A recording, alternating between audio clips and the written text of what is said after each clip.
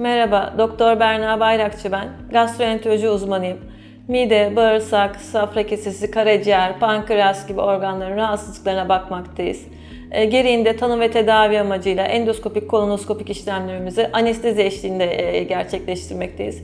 Bu gibi rahatsızlıklarınızda gereğinde gastroenteroloji uzmanına başvurabilirsiniz.